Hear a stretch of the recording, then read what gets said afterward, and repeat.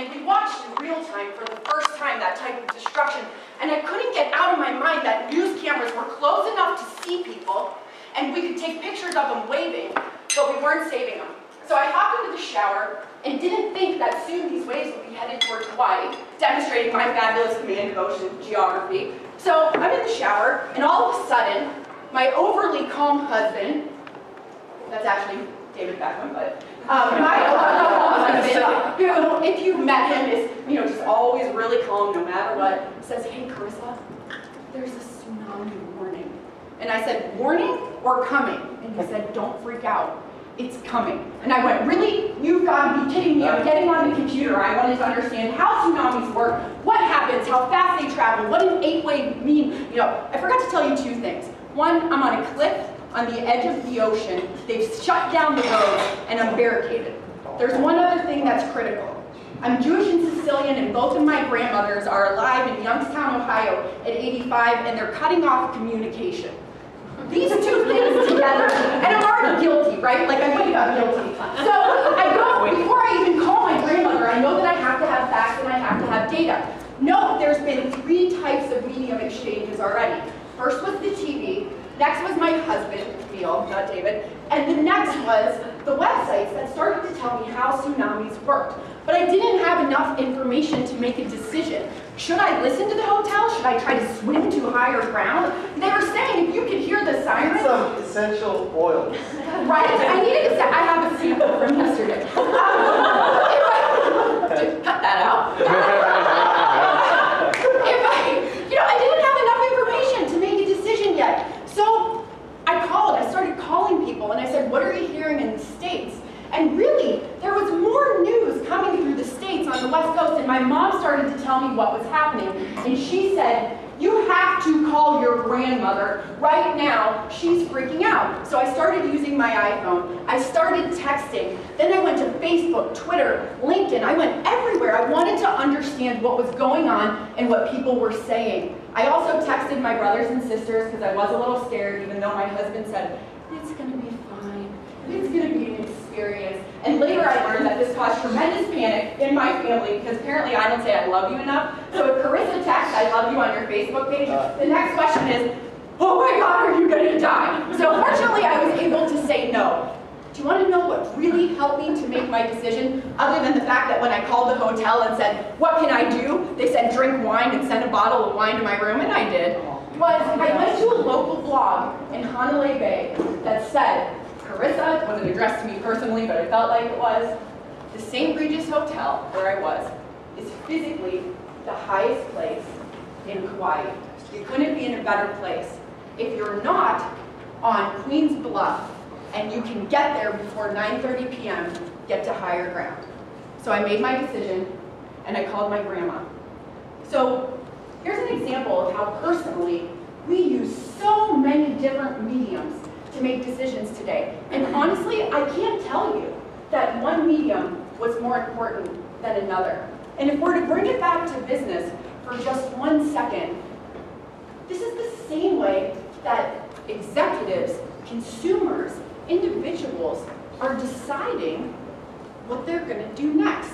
And if we as brands expect to use storytelling in multiple mediums, we have to make sure that we're providing information wherever our target audience is at that time. So, I'll leave you with my personal story to kick us off, and I'll ask that we move right into politics. And those of you that joined me in the workshop yesterday, if you want to help lead or have any comments or questions, add right in, because you're already experts in this area. But let's set the stage politically for one second. First, I'll ask you, and don't cheat if you were with me yesterday, is blog social media? Okay? Anyone disagree? You do? Okay. One-way communication. You guys are both right. When you first, I love it. See, I'm, I'm not in Switzerland. I'm actually fairly opinionated, but here I get to pretend like I'm Switzerland. But go ahead and elaborate. You were going to mention. So, um, I'm Betsy Aoki. Um, I work for Microsoft. My former title was the blog queen. I launched the employee blogging platform. So, for me, when we started doing this in uh, 2003, 2004, the big deal about the meeting was that you were putting information out there, and there were was comments that would come back from customers, and you get trackbacks and pingbacks. The fact that it was a two-way sort of information, not like the advertisement from Microsoft or us giving a press release and you just have to deal with it, right? So for, for us as a company, it was very important that it was two-way communication in 2004. Right, excellent. Is that kind of align with what you're thinking? Okay, excellent. So you're both right, because if you look statistically at a definition of a blog, what makes it social media is the back and forth engagement. However, if you write a blog post and just stick it in the air, and you're not encouraging that engagement, it's an article, and you're totally right. So by writing blogs, we're not necessarily maximizing social media. It's the engagement techniques that Guy taught us about that really turn a blog into social media. And we saw this happen in Egypt. Uh, and I know that we've seen a number of different social revolutions since. But if you all think back to the story of Egypt and what happened there, the power wasn't in one person saying, we're not going to take this anymore. The power was in a million people engaging and saying, not only are we not going to take this anymore, we're going to tell you why, and we're going to tell you every second until you make a difference. And what did, what did the Egyptian government do? Who knows? I know people from my workshop know. Shout it out. Shut down. They shut down the internet.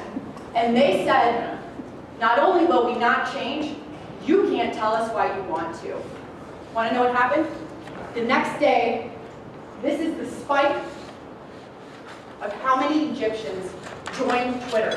Two million Egyptians joined Twitter the next day and said, we won't be silenced. And what made it possible was that Google got in a room within Twitter, and within six hours, they emerged with a solution called Talk to Tweet, where even if the government shut down your internet, you could make a phone call and you could speak your message, and Google and Twitter would put it live for you.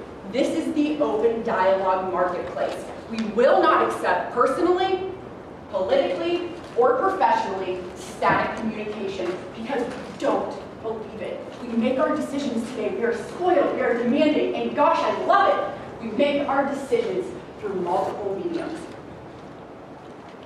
And just to leave you, as we close our foundational section here of my definition of social media, of blogging, of the open dialogue marketplace, is I can say whatever I want. And, and social media and blogging are really a place for education, collaboration, and entertainment, where voices and opinions, much like the early democracy, are voted upon, and those that resonate rise to the top. And just like Starbucks, who uses it for product development, what happens when ideas rise to the top? They get made, they come to fruition, they come true. This is the power of the open dialogue marketplace. It's really just an evolution of communication. It's not that scary. It's not that new. We've been finding new ways to communicate and new ways to command information literally since the beginning of time. And you know what? We'll never be satiated. Ever. Ever. We're going to keep integrating. We're going to keep creating. We're going to keep moving faster. So guess what? If you're overwhelmed, throw it out and let's go quicker. Um, I teased the workshops yesterday about Wikipedia, and I asked if it was more or less accurate, and we had some excellent debates. And you know, I know the statistics, I read the studies, I'm sure, I'm still not sure if I believe them. Um, but let's hear from someone that wasn't in a workshop yesterday. Is Wikipedia more or less accurate? And why do you think that? What do you think? More or less. More or less, I love it. I continue to adore you. You know, it depends on the topic. I think that there are That's a great particular topics within Wikipedia that are highly accurate because they have a very dedicated, well, they have a lot of eyeballs on it. Excellent. And I think that there is a grave difference between, say, a celebrity fan entry, where maybe, say, Justin Bieber, where you have a lot of lucky teenagers and tweens going in and messing with it all the time, versus, say, an Apple page. So- Absolutely. I think that's an excellent point and very well, very well put. If I might steal that for future conversations. Excellent. Thank you kindly. Um, anyone have a strong opinion, yes or no? Anyone believe absolutely not? There is no way that Wikipedia, a self-generated encyclopedia, could be more accurate. Oh, we're all believers. All right, well, here's what the stats show. The stats show that because of the real-time nature of Encyclopedia Britannica, and because in general, the number of eyes, the velocity of people check and balance is actually 11% more accurate than Encyclopedia Britannica. However, I am the granddaughter of an educator. If I rely on what's online, I'm going to feel a little concerned. So we go back to that idea of full media presentation. If you think about what this really means, if you really think about the evolution of communication, and you buy what I've sold you, the open dialogue marketplace is really, I can say whatever I want. Then what we're talking about is a reallocation of authority away from brands, away from us as the executives to our audience. And we have two choices because we have lost control. We have lost control. We can either participate to work to build influence over our brand and over our brand perception, or we can completely delegate our brand authority to our audience and say, hey, we'll be whoever we want. Those are our only two choices. So I challenge you as we now move past the personal impacts and past the political impacts and really focus the rest of our time on what impacts is this making to your business landscape and more importantly, what opportunities does it present? Think about that. Think about what's right for your culture. Think about where you're comfortable and look to find on that continuum your balance between participation and influence and completely delegating your authority to your brand audience. Any questions or comments before we move on? I'm going to ask for some actors later, just so you know. So if you like to act, you can, you can start warming up. Um, I like definitions. However, I don't like definitions from Wikipedia um, because I feel like, much like a regular encyclopedia, it is always completely technical. And what I'm looking for is, what does it really mean? So when Megan contacted me and said, are you interested in talking about blogging? Are you passionate about blogging? What does blogging mean to you? I absolutely freaked out and said, yes, I will be there because to me, a blog offers a tremendous opportunity to shine through with value-based content. And we have that great opportunity using Facebook, um, using microblogs like Twitter, even using emails or other things. But the deal with the blog is, is that when we go there, we've made a commitment to read it. We are prepared to spend more than 140 characters worth of time digesting information. And the key to creating really engaging, or enchanting, if you will, guy, um, blogs is to make sure that they're value-based. Value is always king or queen for those that were uh, in our email blogging session yesterday. And if you're asking yourself, should I put this out to my audience? Will it help them to win? Will it help me with brand awareness, with solving a problem? You have to ask yourself, will it be valuable to my audience? And if you think back to the definition of the open dialogue marketplace, people use blogs and social media for three reasons. To collaborate, to become educated, or to entertain. So if you are trying to figure out, my gosh, what kind of content am I creating? What do I do? Ask yourself, am I solving a problem? And sometimes the problem is I am really bored and I need to read a stupid joke. Maybe that means value, but how does your audience define value? And how are you going to represent that? So why do people blog? Who blogs? Why? Why do you blog?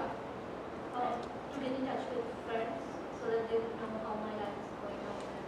Excellent. To make new friends. And what you're really doing is educating and looking for collaboration, relationships. Excellent example. Excellent example and powerful. Anybody else have an example? Why do you blog? I like to share tips and advice.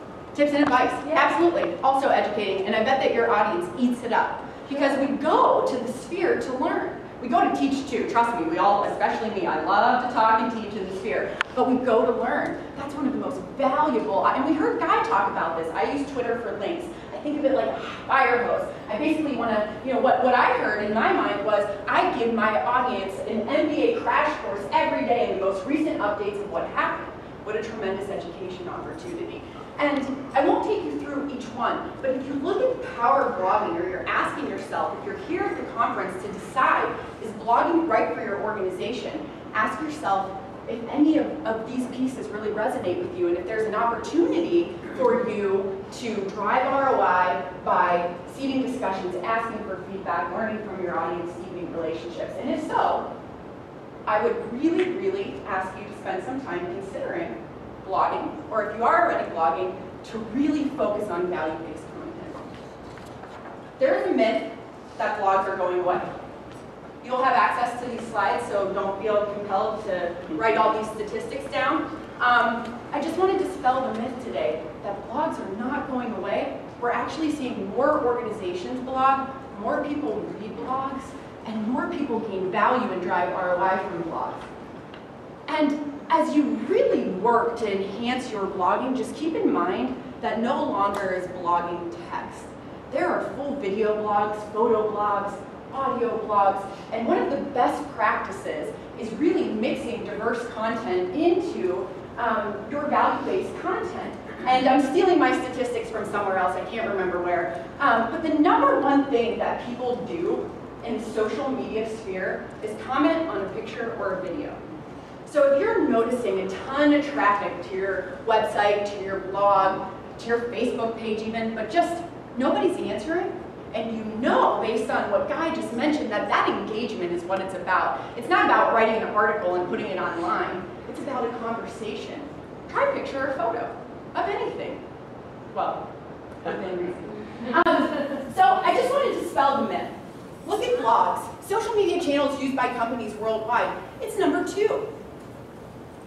Look here. Corporate blogs have grown from 2010 to 2011 by 6%, and MK didn't help me too much. Um, if we look here, we can see that in the top five resources that Fortune Global 100 companies are using, blogs, or blogs rather, make the top five. So we have to ask ourselves, why are companies investing more time in blogging? Well, why do companies, well not all the time, but why should companies do? Because there's demand, because we want them to, because their target audience says, hey, this is the way that I want to digest information. And so it's time to switch our attention to the collaborative C3 class. And I'll just ask you to hold that term for a second and I'll explain what it means in a moment. But it's important to ask yourself, why is my target audience either blogging or reading blogs? What are they looking for? And there's another myth. I can't sell with blogs. I can't sell in social media. It's spam. Yes, it does not work really well if you're like, hey, here's a promo, link, link, link, link. But if you're educating and inviting individuals to learn about your product, learn about their service, and you're helping them to solve problems, blogging is one of the most lucrative lead generation and ROI driving marketing tools that you can use. And here's what individuals are doing. Isn't it interesting that the number one thing people blog about is brands? Don't want to buy or learn about products or services from blogs, why is it number one?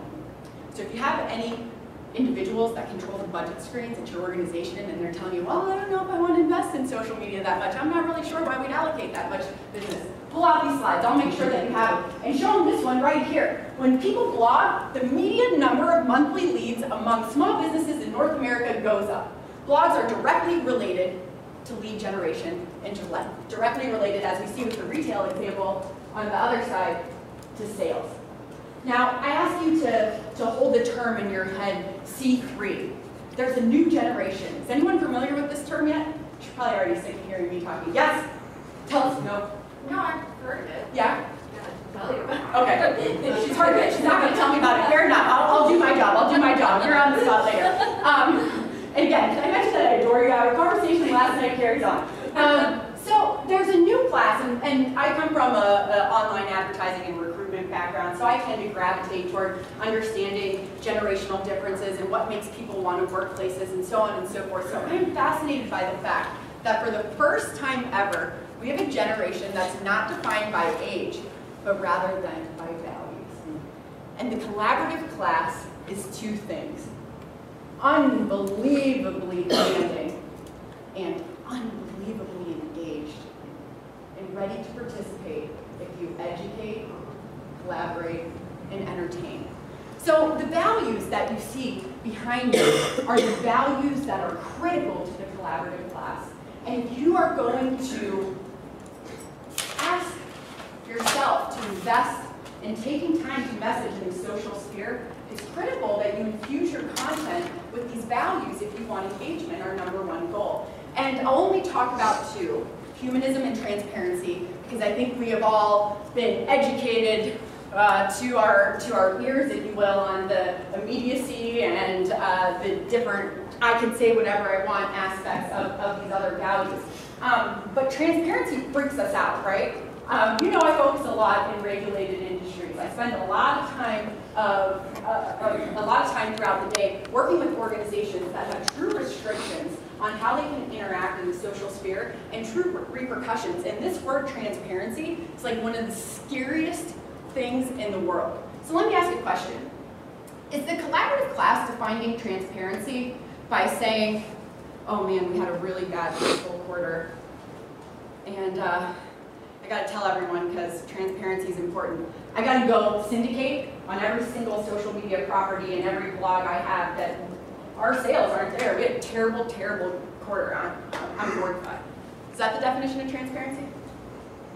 No, thank gosh. Otherwise, we'd all be putting ourselves out of business. What people are looking for is what does it look and feel like? What is the good? What is the bad? It leads into the second value here that's so critical, which is humanism. People don't want to talk to brands. If we wanted to talk to brands, we'd read a magazine. And magazines are great. Sometimes we don't want to talk back to someone. And I love the Wall Street Journal on the plane. I don't even want to talk to the people next to me. I don't want to engage with anybody. There's a place for old media, if you will. And integrating this new and old media is my shtick and what I believe in, and that's a whole other conversation. But people in the social sphere don't want to talk to brands. They don't want to talk to your company. They want to talk to you. They want to talk to you representing your company. And they want to hear words like I and we. And they want to know what you feel like as a result of what they said. They want to collaborate with you. They want to talk to people. So think about that as you ask yourself, where can I make an impact in my business? And I'll do a time check in a second because I know our schedule is a little different. But um, before I do so, I really would like to drive home the point that blogging, social media, clearly it's a tremendous opportunity for marketing, tremendous opportunity for public relations. But you can use emerging media in literally every facet of your organization to solve problems. If you have a customer service issue, a blog, Twitter, Facebook can be tremendous resources to really help you cut down length lengthen contact time, lengthen response time. And do you know what happens when organizations launch Twitter pages in a customer service thing? We've seen this with a, with a number of our clients. I almost said a million, but we don't actually have a million clients. Um, with a number of our clients, what happens is when consumers ask questions, your target audience asks questions, and you answer, one, you send just a perception message that, that you're a transparent organization that's listening, but more importantly, for your own bandwidth, Twitter starts to act as almost a running FAQ, a frequently asked question list. And other consumers that had the same question that go there realize, I don't have to ask, this has already been asked. The other thing that happens when we create segmented communities for different aspects of our business, just like we're comfortable engaging in communities that are more relevant to us, we find that our target audience is more likely to talk, more likely to ask questions if we create an online platform that's customized and specific to their interests, whether it be collaboration, education, entertainment, or a combination. So, how am I doing on time? 20 minutes left. All right, good deal, plenty of time. Um, I want to leave you with some very practical ways that if you, again, you got what I'm selling here today, that this is an excellent tool to really solve problems, you can go back to your office and implement right away. Because one of my, um, I guess, uh, sticking points sometimes is I, I oftentimes in a, a, lecture or speech or a workshop learn so much and I have so many ideas that it takes me like five days to sort out, okay, out of all the things I just did, what am, you know, learned rather, what am I going to do next? Um, and I'd love for you to be able to walk away with a strategy on how you can either enhance your blogging or begin to blog. Um, and if you're looking for core components, what's really important, in addition to what we've talked about, is that when someone goes to your blog, it is just as evident as could be as, uh, as to why they're there. What are you offering? What's the so what, who cares for the audience? And if that isn't front and center, you're not going to get them to read the article, and you're certainly not going to be able to turn the article into a blog, or into social media, rather. Um, and what we've been talking about, really, the true goal of productive blogging or productive social media for that matter, is of course to create or to create dialogue between you and the audience. And you want to invite dialogue, of course, from the audience to you. That's one of the best research and development opportunities we've ever had. But where the real power comes in is if you can generate audience to audience conversations. And the reason that that's so powerful, more powerful than any trust or any message that we can create with someone in our target audience, is because the trust that exists between user to user in the blogosphere and in the social sphere is so high. If you tell me as a person that I should buy this alarm system over that alarm system, and you tell me why, and you tell me how it impacted your life and impacted your family, I'm much more likely to consider that alarm system than if Bell in Canada messaged me that they have the best alarm system in the world because it's 10% off. So you really want to look at that audience to audience dialogue. How do you nurture that? How do you create it? How do you reward it? And how do you cherish it and grow it? So if we could skip ahead, if that's okay, um, to section three. I need two actors in order to drive this concept home. Is anybody going to act with me? I'm really, yes, my God, let's go. Awesome. We, we bonded. If you could only hear about our taxi ride last night, you would understand why you guys are back. Um, I need one more actor. I'll have to pick on some. Yes. Uh-huh. See, wait, see what happens? you compliment me? No, I'm not generally that nice. So I need just one second with my actors because this is completely, uh, this is completely, what's it called when you, improv, thank you, improv. What's it called, what are we doing?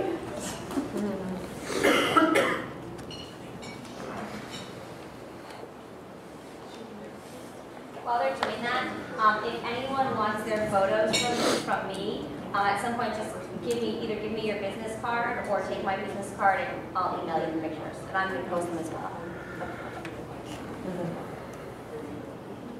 All right, here we go. Our actors are almost ready, and I'm going to give you the signal when you're ready to act. They just rehearsed. They're ready to roll.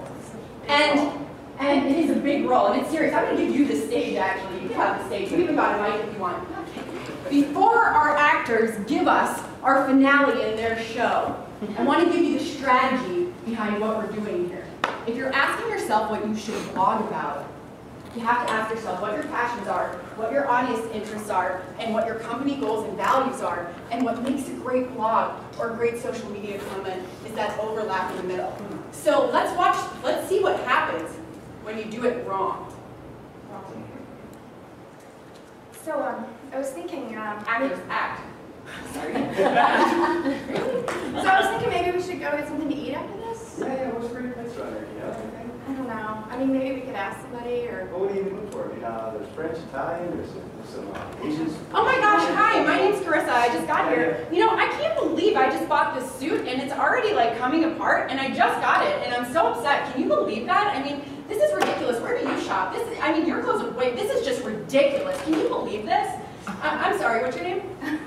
Marcy. Oh, nice to meet you, Marcy. Yours? Yeah, Brian. Oh, cool. Well, anyways, thanks for listening. Take care. All right, round of applause for our actors. Okay, do it again. I would argue that the correct way to figure out what to talk about, what to blog about, and how to create engagement is a three-step process that we term listen, participate, and create. If, if this is the proper process, what went wrong? Pretend I'm a floating piece of content in that conversation. What happened? What went wrong? Aside from me being crazy. He was kind I'm spam then. yeah, it's actually, you know. Yeah. I mean, the- My suit. They're like, I don't care. Right? Perfect. It wasn't relevant. Did I get invited to dinner? Mm-hmm. Did I make a relationship? Did I collaborate? Educate? I may have entertained. I don't know. We'll It be talking about you later. exactly. I I was was some good fodder for Yeah, I gave you a good blog post, fabulous, but I certainly didn't help my own brand. Now, let's try it one more time. You got it in you? Ready? Actors, act! So, where do you want to go to dinner? Ah, there's a lot of great places around here. What do you look for? Uh, I don't know. I was thinking maybe Chinese, but I'm not really Well, Chinatown's sure, right you down the road know. here. Fantastic places down there. Yeah, we should. I mean, maybe. I mean, we have to take a cab Oh, if you want good Chinese, this is the place to get it. I'm so sorry to interrupt. My name's Carisa. Nice to meet you. I'm new to the organization. I just got here. I didn't mean to interrupt us. Please carry on. I just heard you We were just talking about food. dinner. Yes. So, One of my favorite What, things. uh, you got your- We did like any restaurants around there, maybe? Um, Tell me where to go? You know, Luke actually took us last night to a fantastic restaurant. I heard you mention that you like Chinese I though. do. It wasn't Chinese. Oh, it's so- okay, I'm open. Okay, Luke, what was the great that restaurant we went to last night? The water bar. The Water Bar. Do you like seafood? Yeah, I love it. And yourself? Well, anything that has bar in it is Oh.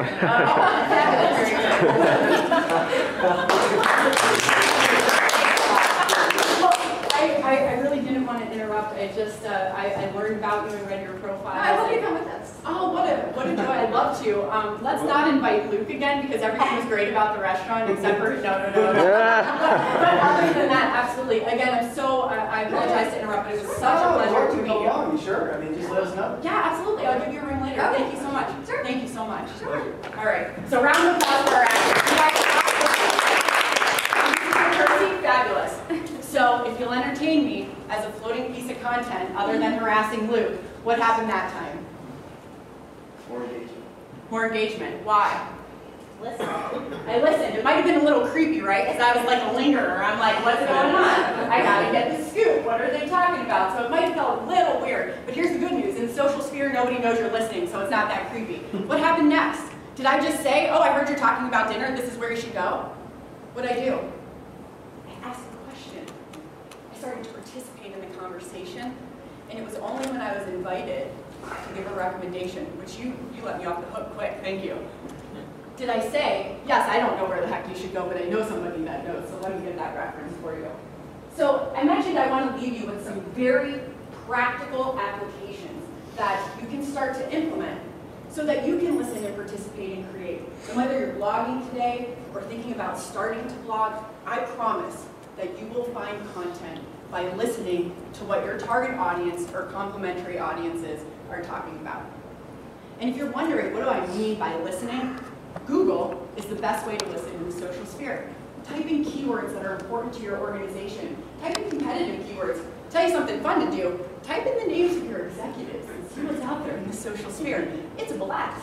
Um, I believe that my old CEO of Career Builder was put on Wikipedia, and he's actually really brilliant, so this was really unfair, and I corrected it as King Dingling. But nonetheless, it was good to listen, and really great when I could bring to his attention that we really needed to take this off. And yes, of course, I did show him before I took it down. Um, but that's what listening means in the social sphere. And what you're listening for isn't just what people are saying. You want to listen for where they're talking. Maybe you shouldn't blog because maybe your audience isn't listening to blogs. Maybe they're on Twitter. Maybe they're on Facebook. What channels host the highest density of your target audience? Where should you be listening? Where should you be investing resources?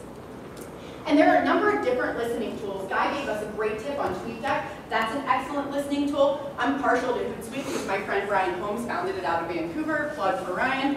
Um, and uh, there are great ways that you can go and listen today. So here's action item number one. If you want to implement this listen, participate, and create strategy. If you haven't already, set up a Google alert. Google alerts are awesome. Who uses Google alerts? I bet almost everyone. Excellent. Figure out what you're not listening to today. Set up three new Google alerts this afternoon for things that you ought to be listening to. Or set up a free Hootsuite account. Um, the next piece, participate. I asked questions, and I said, I don't have a Chinese recommendation, but I, I heard that you love Chinese. You said, that's okay, give me something else. But what happens in participating isn't just, well, gosh, I know what to talk about. What happens is that I build credibility as part of the group because I'm asking the question and I'm participating. And it is a lot easier to invite somebody that you know over to your house or invite yourself to join dinner than to say, hey, follow this link. I know you've never heard of me. I've never participated in your LinkedIn discussion group. I've never commented on your blog, but gosh, are you interested in my content? Participate. Who's participating in blogs and LinkedIn discussions or commenting on Facebook pages today? Keep doing it. I see Summer, my VP of marketing in the back go, of course. um, keep doing it. And stretch yourself to join a new blog, a new LinkedIn discussion, or a new group based on the things that we talked about today and based on the things that Guy has shared with us. Where should you be participating if you're not participating today? And Stu, may I use the example that we yesterday? Um, Stu is, is just doing an amazing, uh, really multimedia campaign to uh, promote tourism to South Africa. And we were thinking yesterday about what kind of complementary, not competitive, but complementary opportunities are there to participate in groups. And you had such a brilliant idea that then we locked onto and used all day long, which was bird watching. Maybe I should be talking to people that are really interested in watching, and maybe I should dialogue with them and learn about the different kind of birds that are there, and talk to them about the opportunities to see these birds in South Africa. And I literally got goosebumps and went, oh, you've got it, brilliant, yes! My work here is done, but I stayed to meet you. Um, and so ask yourself, where can you participate that you're not participating today? And what is the power of building relationships in that group? And as I mentioned, through this process of listening and participating, you are going to learn what to create. You are going to know absolutely what type of content your audience wants to hear. And in doing so, that natural engagement, that audience to audience engagement will rise to the surface. So today, after you've listened and participated, go post one value-based thing to a group that you've never talked to before. Stretch yourself to connect with third-party complementary resources that will help to drive your brand. Um, and don't worry if you get a negative comment um, or someone starts to give you a headache, because remember that excellent value of transparency that the collaborative class demands in humanism? Clearly, I'm not perfect. I stutter over every word. I think I might even slur sometimes when I say social media, which happens like 900 times a day. But I'm human, and hopefully you bought it. Hopefully you connected with me because I don't care if I'm imperfect. That's the point of it. I want to be an open dialogue marketplace. I want to learn from you as much as I, I don't care what you have to say, if it's negative or positive. I care that you have emotion. I care that you comment. So if you can tolerate it, and it's okay with your culture, allow negative comments to breathe and respond. So I'll leave you with a funny story. Um, and if my workshop group wants to help me tell it, that'd be phenomenal because we weren't going to go into it yesterday, but we moved ahead with the Savvy group and did. Um, if you're feeling at all hesitant or concerned about really starting to participate in third-party groups that are a little different and you're not sure what you're going to get back, I just thought I'd share the Comcast story with you. Is anyone familiar with this story? Anyone know what happened? Yeah? You want to tell it? Is it the Georgetown? Yes. You did? Yeah. Comcast? Excellent. You did a great job of recovering. It says Well, positive outcome. wasn't in that market, yeah. Oh, well, you still get credit because you're here. So, so you set the story perfectly, which is, wasn't this in a Georgetown apartment? What this is, is a picture of Comcast technician who fell asleep on a customer's couch. What makes it oh. worse are two things. One, he chose to fall asleep on the couch of a Georgetown law student. Bad idea. Secondly, he is on the phone with Comcast, his own organization, trying to get directions on how to fix the issue of what's going on with the cable. And his own organization left him on hold so long that he fell asleep. what happened? This lawyer in training comes in from Georgetown High in his bridges and sees this guy asleep on the table and says, uh-huh, I've got a flip cam and you're going on YouTube, buddy. Boom. Literally 1.6 million hits in less than two weeks, three weeks. It was quick, and the brand damage was extraordinary. And people were angry. They said, this is ridiculous. I have always waited on customer service and long wait times. I am done. This is it. I can't believe it. Here's the deal. Comcast responded brilliantly. And I was surprised. But they issued a video blog post and said, this isn't acceptable. They issued a regular blog post that said, this isn't acceptable and here's what we're doing to correct it. They tweeted, they put up a Facebook page, as did other people like I hate Comcast. Um, but they went ahead and said Comcast cares. And they allowed the negativity to exist in balance They with the positive comments. show that video in um, training text. You do? They, I think they, I heard that they did. They do? They do, yeah. So that's really amazing. And I'll close with this. The reason that that's amazing is because the power of the open dialogue marketplace starts online. But where it ends is in ROI and opportunity to make offline improvements. And not only are they using it in their training, thank you for that content that I'll now use moving forward, they also physically made customer service changes that allowed them on the back end to service clients quicker. They learned, it was research and development, and they displayed humanism. So with that, I will leave you with the cost of no action is a lot more severe than the cost of going out and giving it a try and being willing to tolerate the level of transparency and humanism. So I'll close for any questions or comments.